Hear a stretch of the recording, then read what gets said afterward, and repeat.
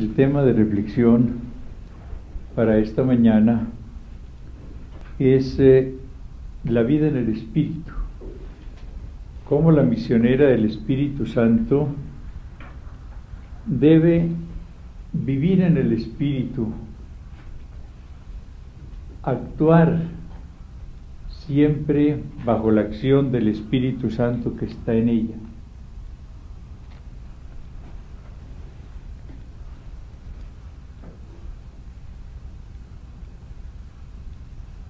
En el Evangelio de San Lucas, en el capítulo segundo,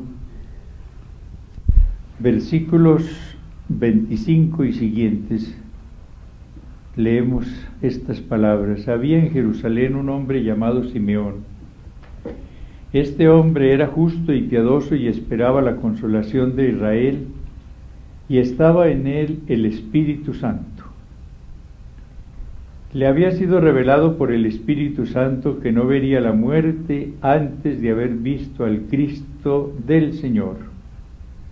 Movido por el Espíritu Santo vino al templo y cuando los padres introdujeron al niño Jesús para cumplir lo que la ley prescribía sobre él, le tomó en brazos y bendijo a Dios.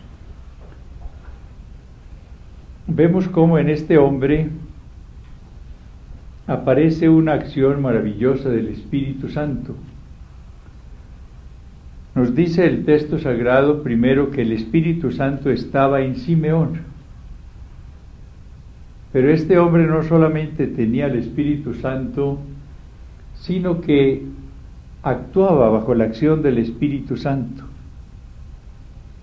Después nos dice San Lucas, le había sido revelado por el Espíritu Santo que no vería la muerte antes de haber visto al Cristo del Señor. Era un hombre que recibía la comunicación del Espíritu, que tenía una apertura muy grande a las luces del Espíritu, y el Espíritu Santo le había hecho esa revelación, que no moriría antes de haber visto al Redentor. Pero algo más, movido por el Espíritu Santo vino al templo. Es el Espíritu Santo el que conduce a Simeón al templo para que allí tenga el encuentro con ese redentor que le había sido prometido. Entonces es un hombre que tiene al Espíritu Santo, un hombre que recibe la luz del Espíritu Santo y un hombre que se deja conducir por el Espíritu Santo. Empezamos a ver cómo la vida en el Espíritu Santo no es solamente tener al Espíritu Santo,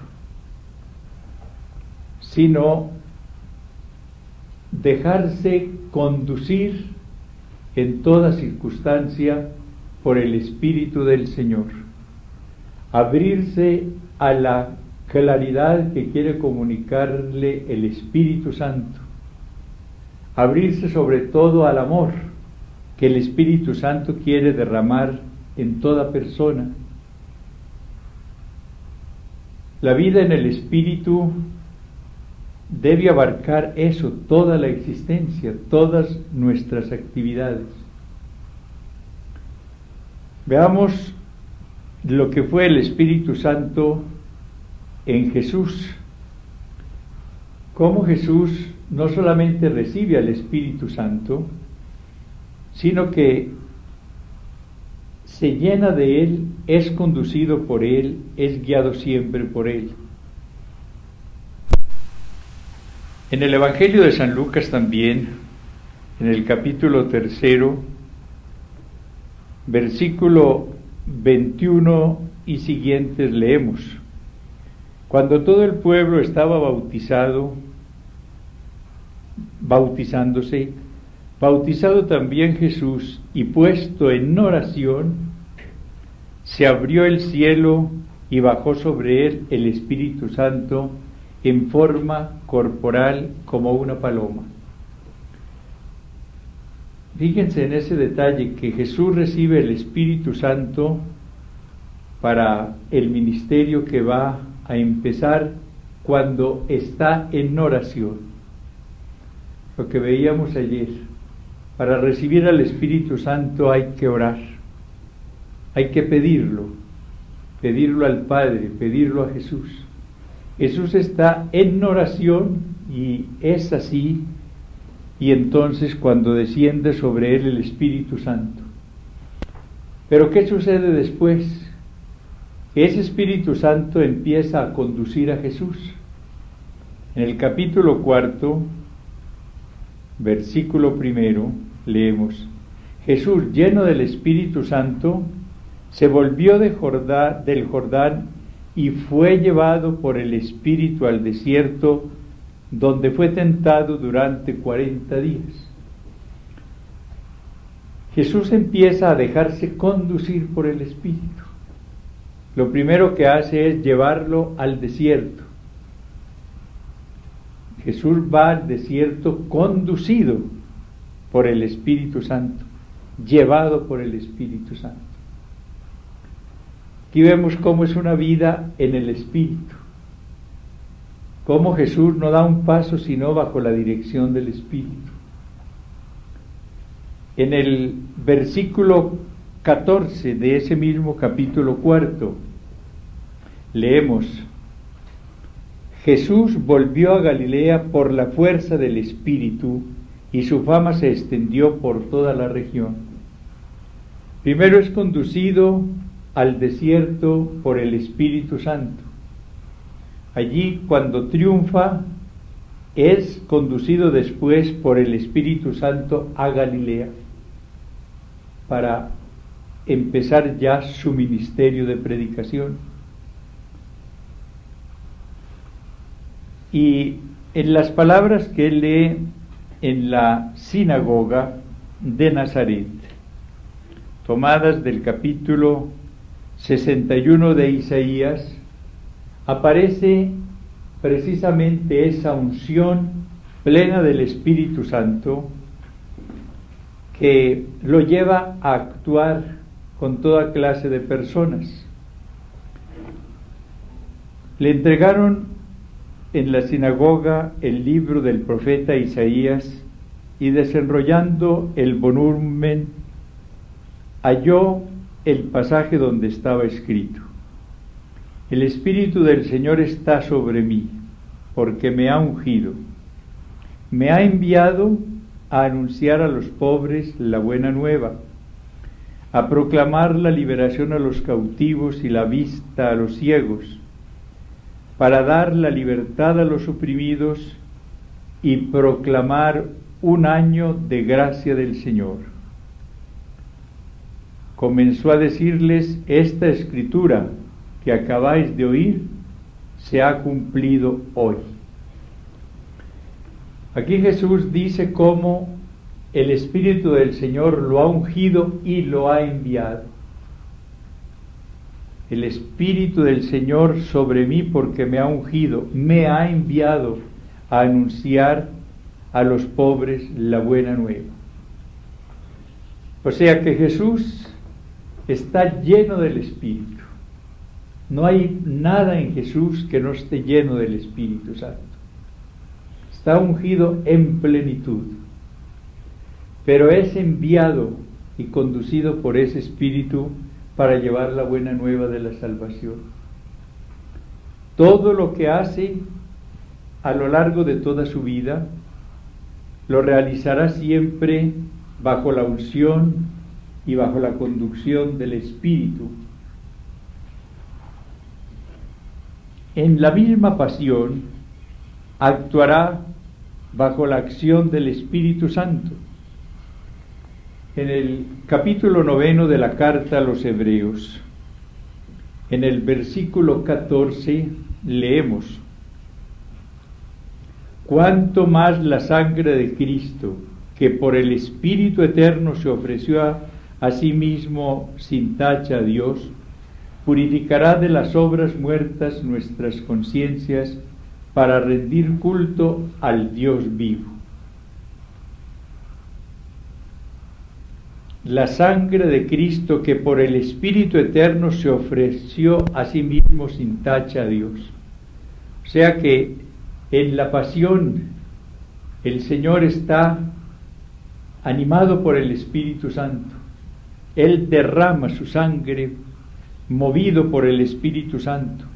Se ofrece por el Espíritu Santo al Padre en oblación, en hostia redentora para toda la humanidad.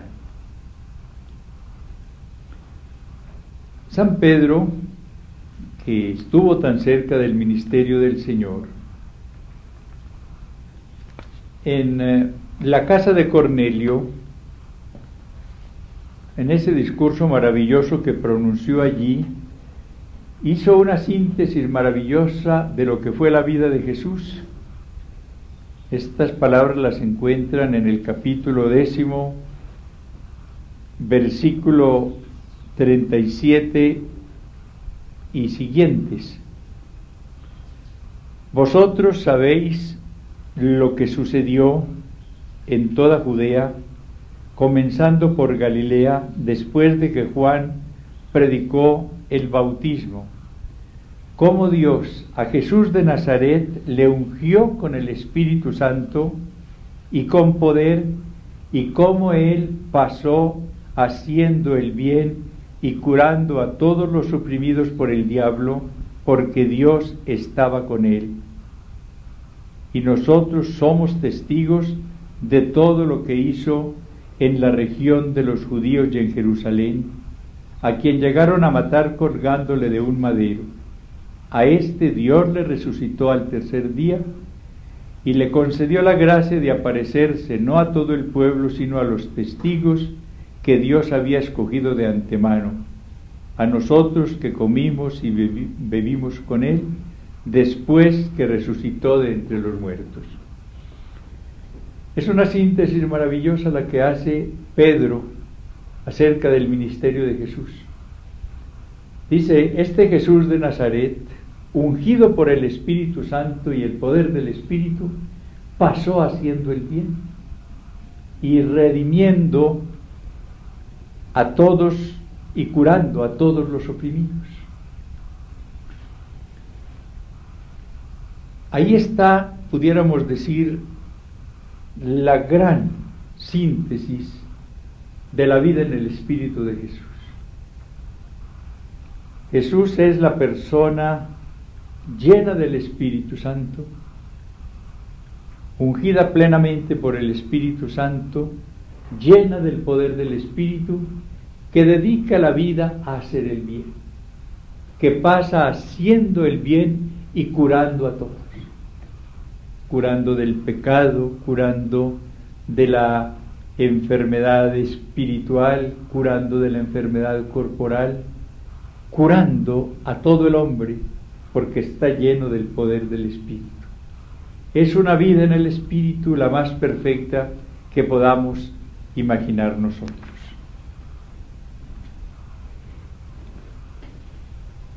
Este Espíritu Santo que ungió plenamente a Jesús, que lo condujo siempre, nos ungió a nosotros también desde el bautismo y quiere también conducirnos siempre. Fíjense bien que el cristiano, que quiere decir ungido, es la persona que recibe como Cristo la unción del Espíritu. Pero no debe contentarse con recibir como Cristo la unción del Espíritu, sino que debe como Cristo vivir en el Espíritu, es decir, dejarse conducir siempre por el Espíritu. Ustedes están ungidas por el Espíritu desde el bautismo. Fueron ungidas por el Espíritu Santo en la confirmación. Lo tienen. ¿Qué es lo que necesitan?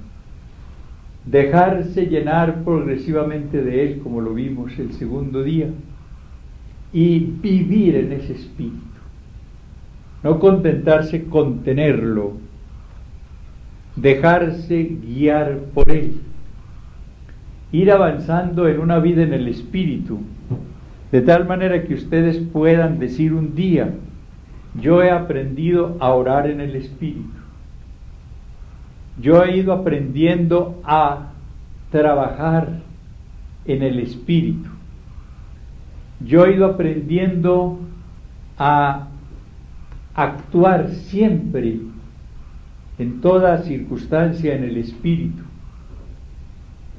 Yo he aprendido poco a poco a pensar en el Espíritu, a tener los criterios del Espíritu Santo.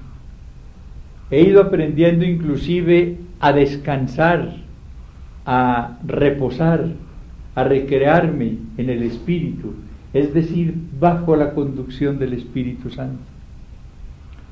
Oramos en el Espíritu cuando nos dejamos guiar por Él en la oración. Trabajamos apostólicamente en el Espíritu cuando no estamos contando con nuestras fuerzas, sino con la acción del Espíritu Santo en nosotros y a través de nosotros. Obramos en el Espíritu cuando nos dejamos conducir por Él, no por nuestros caprichos, ni por nuestros gustos personales únicamente. Vivir en el Espíritu es estar bajo la acción de este Divino Espíritu.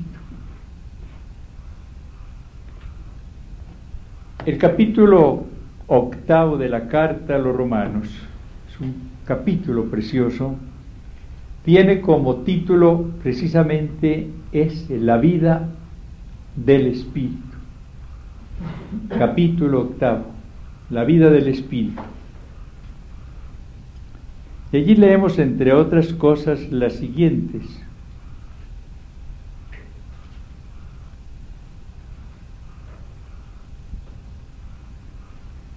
Pues lo que era imposible a la ley, reducida a la impotencia por la carne, Dios, habiendo enviado a su propio Hijo en una carne semejante a la del pecado, y en orden al pecado, condenó el pecado en la carne, a fin de que la justicia de la ley se cumpliera en nosotros, que seguimos una conducta no según la carne, sino según el Espíritu y una conducta según la carne y hay una conducta según el espíritu.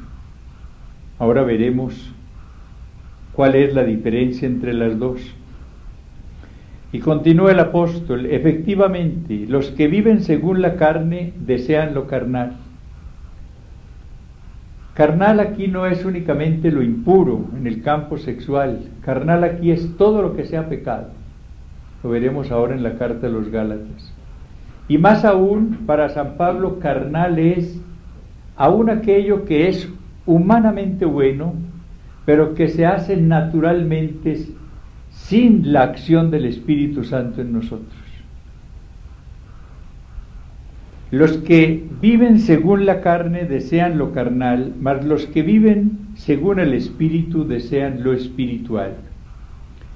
Pues las tendencias de la carne son muerte, mas las del Espíritu vida y paz, ya que las tendencias de la carne son contrarias a Dios.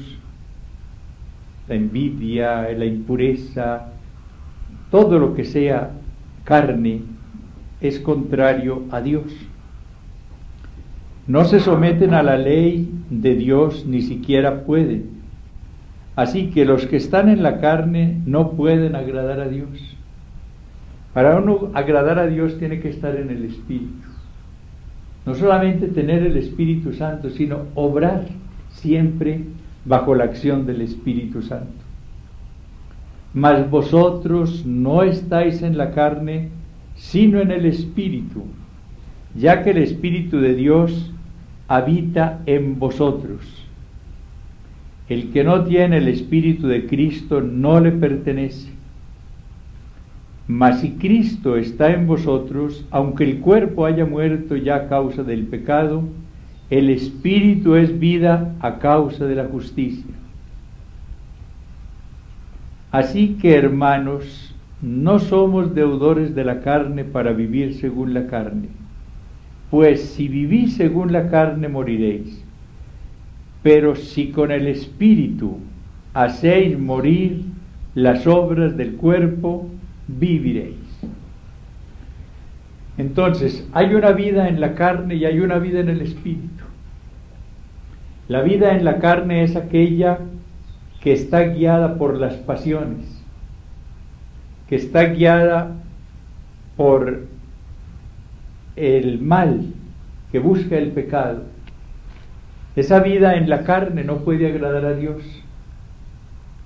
¿Cuánta gente vive en la carne pensando únicamente en impurezas, en conseguir dinero, en lujo, en eh, embriagueces, en droga, en violencia, todo lo que estamos viendo? Hay una vida según la carne, pero hay una vida según el Espíritu. La vida según la carne, la vida carnal, está guiada por las pasiones. Y la vida en el Espíritu está guiada por el Espíritu del Señor. Pero San Pablo no considera carnal únicamente lo pecaminoso. Para él también es carnal lo que se hace al margen del espíritu, aun cuando naturalmente sea bueno. En la carta primera a los Corintios, en el capítulo segundo, versículo 14, nos dice, el hombre naturalmente, es decir, obrando como hombre no más, no capta las cosas del Espíritu de Dios, son necedad para él y no las puede entender, pues sólo el Espíritu puede juzgarlas. En cambio, el hombre espiritual lo juzga todo y a él nadie puede juzgarle, porque ¿quién conoció el pensamiento del Señor para instruirle? Pero nosotros poseemos el pensamiento de Cristo. Pongamos un ejemplo muy práctico para ustedes.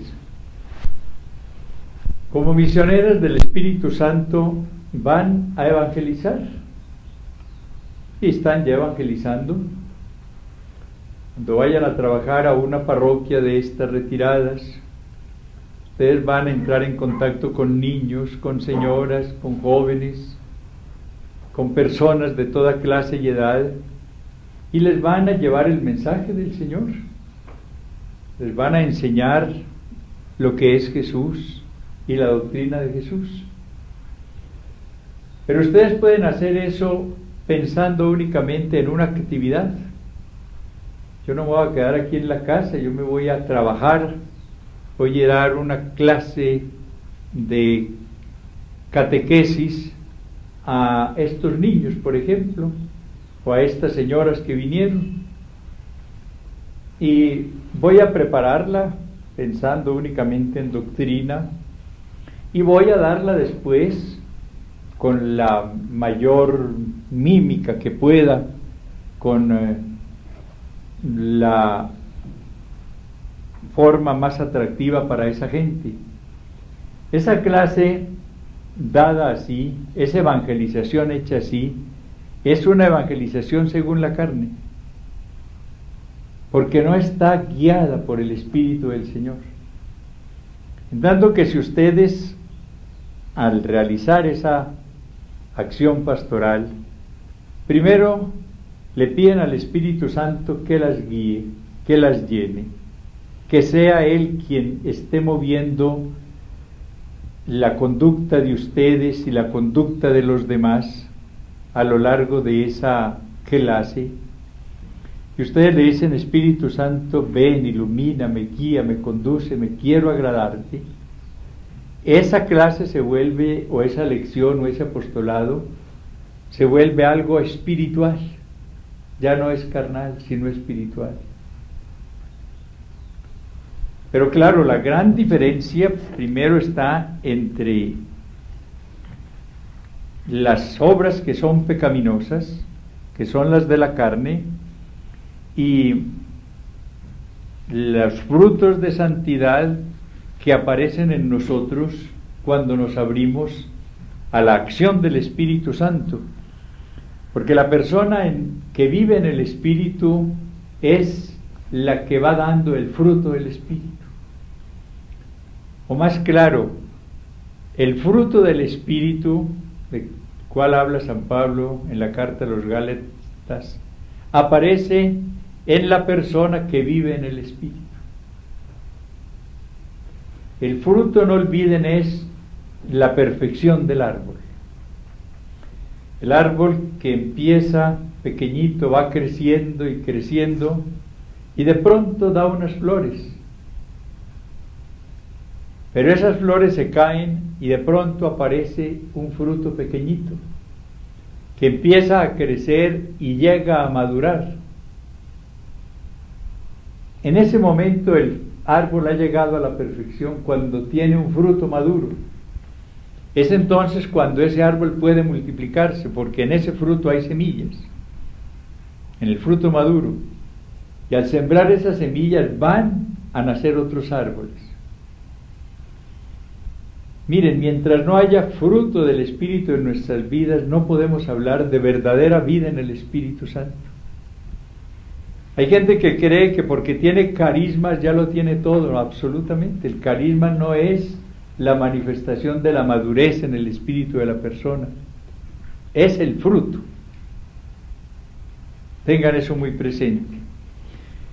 ¿Qué dice San Pablo en este capítulo quinto de la carta a los Gálatas?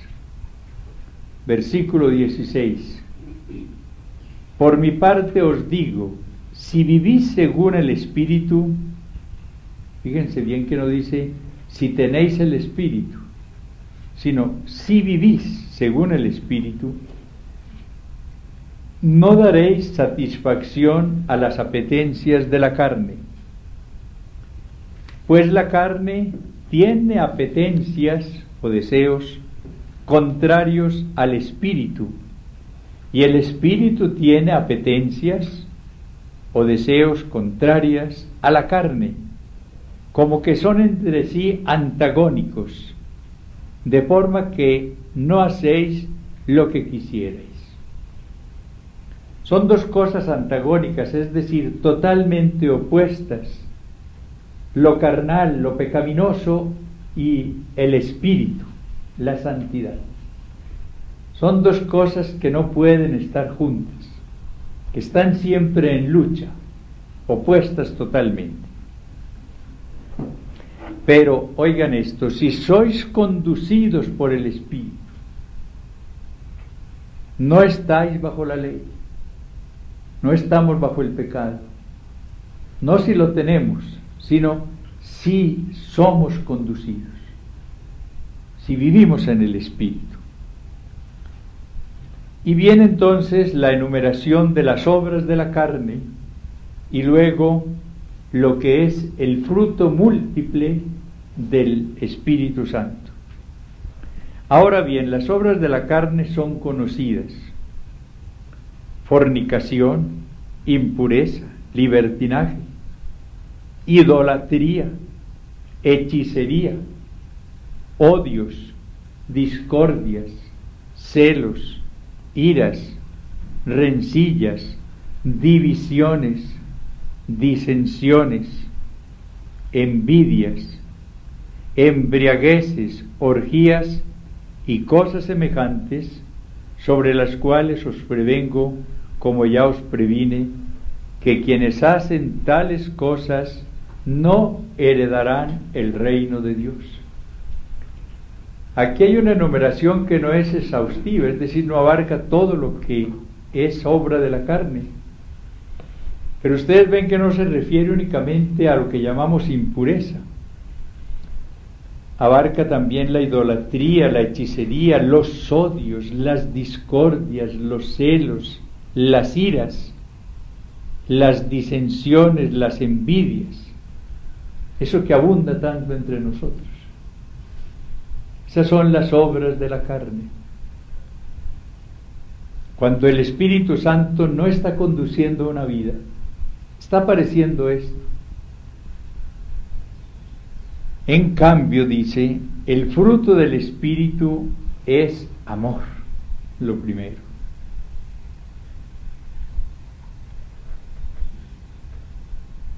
Alegría,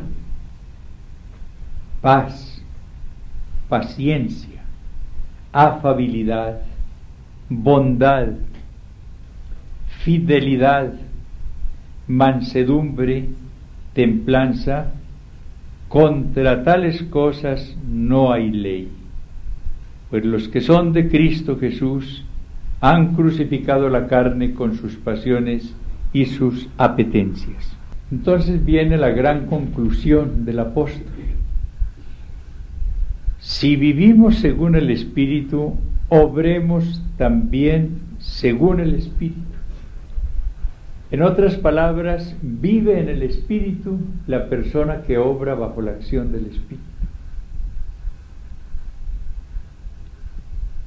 Y ahí está lo que debe ser el ideal para todas ustedes,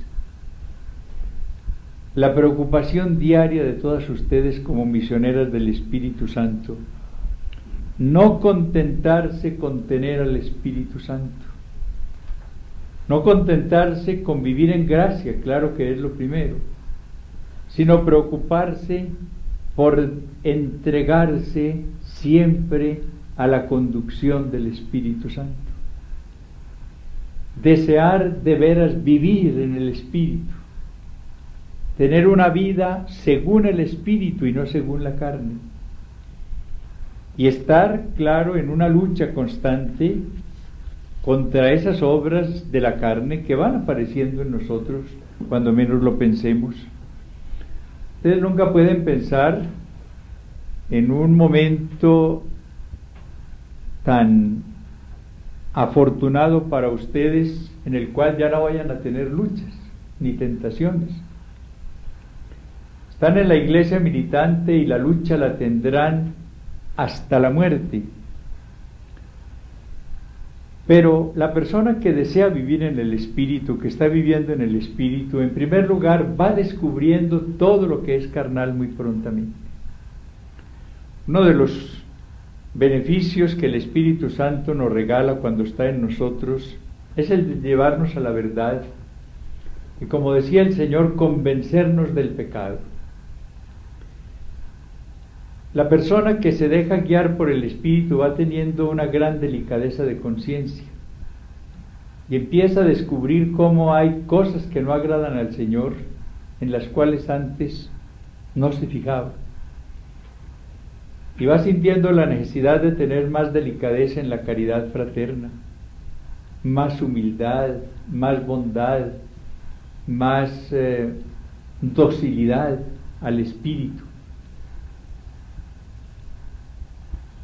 No hay que confundir esta delicadeza de conciencia con escrúpulos. Los escrúpulos no son del espíritu, son un mal muy grande que buscan quitarnos la paz, la, delicadeza espiritual es aquella actitud que va poniendo el Espíritu Santo en la esposa para que descubra qué desagrada al esposo y procure entonces evitarlo.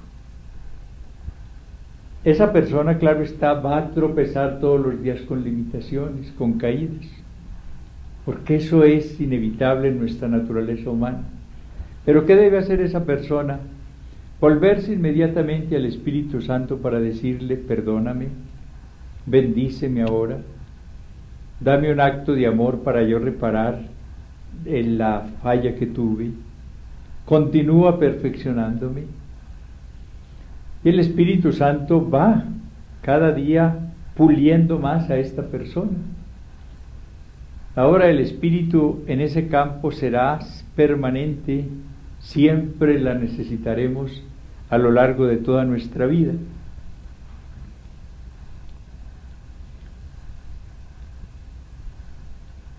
Pero esa vida en el Espíritu nos hace desear cada vez más intensamente la gloria de Dios y no nuestra gloria. El apóstol, después de decir, si vivimos según el Espíritu, obremos también según el Espíritu, añade, en el versículo 26 de ese capítulo quinto. No busquemos la gloria vana, provocándonos los unos a los otros y envidiándonos mutuamente. Persona que va obrando en el Espíritu, que se va dejando conducir por el Espíritu, va deseando cada día más la gloria del Señor en toda su conducta.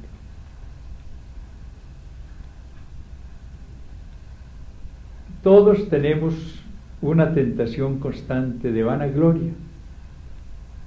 Cuando hablamos, cuando hacemos tal obra, en tal o cual circunstancia de la vida, estamos a veces allá en el interior deseando que nos alaben. No. La persona que va viviendo en el espíritu puede tener claro esas tentaciones o esos deseos, pero inmediatamente lo rechaza cuando cae en cuenta de que está deseando algo que no le pertenece a ella sino al Señor. La vía en el espíritu no es carecer de tentaciones, cuidado con ese engaño. La tentación la padeció el mismo Cristo cuando estaba lleno del Espíritu. No olviden que después de que el Espíritu Santo desciende sobre él en el Jordán, lo conduce al desierto para allí ser tentado por el demonio. La tentación nunca es señal ni de maldad ni de infidelidad al Señor es algo que nosotros no podemos evitar en la vida. Esa tentación surge dentro de nosotros, viene de fuera muchas veces. La vamos a encontrar cuando menos lo pensemos. Ustedes deben tener en eso una gran deben tener un gran cuidado en ese punto, porque en el ministerio van a encontrar tal vez una tentación que no se imaginaban y tienen que estar listas para cuando se presente esa tentación rechazarla como hizo Jesús y rechazarla con el poder del Espíritu. Ustedes no serán derrotadas nunca, por fuertes que sean las tentaciones, si tienen la fuerza del Espíritu y emplean la fuerza del Espíritu. No se dejarán atraer por un afecto desordonado que surge en un momento dado, no lo irán dominando y venciendo todo con la fuerza del Espíritu. Vida en el Espíritu no es vida sin tentaciones, ni es vida sin luchas, no. Es una vida en la cual se triunfa sobre la tentación con la fuerza del Espíritu que está en nosotros.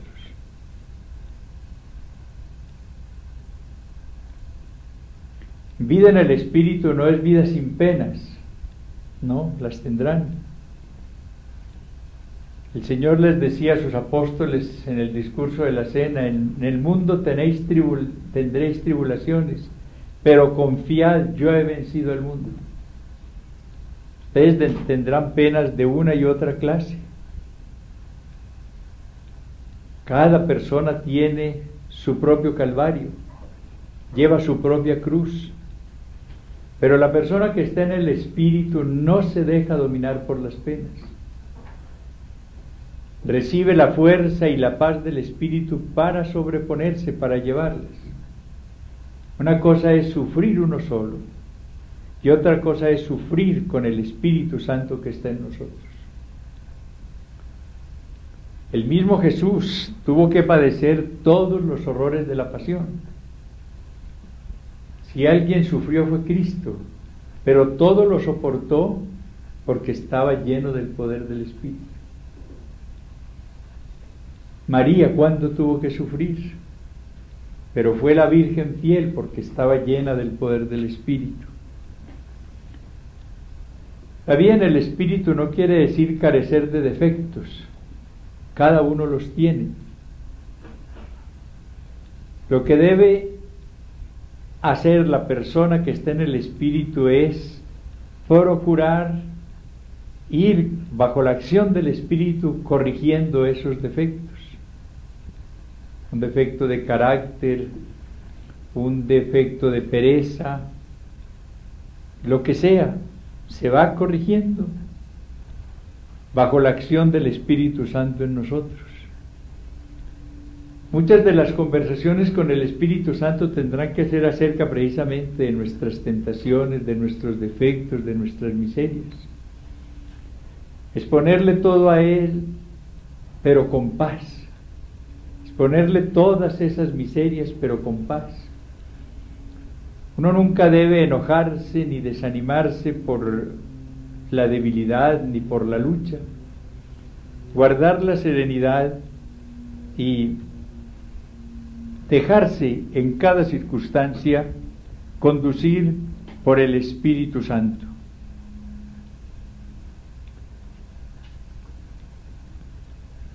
La vida en el Espíritu debe abarcar entonces toda la existencia de la persona. Abarcar toda la persona, todas las actividades de la persona y toda la existencia de esa persona. Para poder tener entonces como término de una vida en el Espíritu una muerte en el Espíritu, esa debe ser nuestra gran ambición ¿Qué es morir en el Espíritu? Morir con la paz, con la fuerza, con el amor que el Espíritu Santo nos dé en ese momento.